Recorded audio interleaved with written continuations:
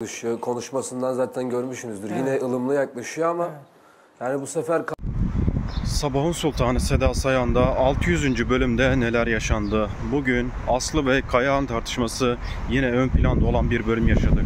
Caner ve Anastasya geçtiğimiz birkaç gün öncesinde ayrılıklarını ilan etmişler ve Anastasya Rusya'ya mı dönecek yoksa Türkiye'de mi yaşayacak?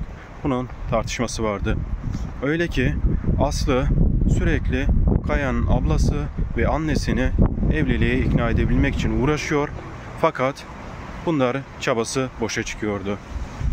Kayahan ablasına söz geçiremiyor ve bir tarafta baskın olan Aslı da sürekli Kayahan'ı sıkıştırır durumdaydı.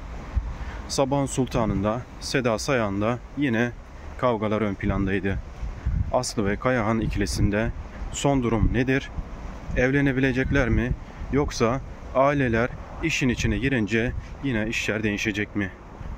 Bunları tartışma konusu yapan Seda Sayan artık Caner ve Anastasya'dan vazgeçmiş durumdadır.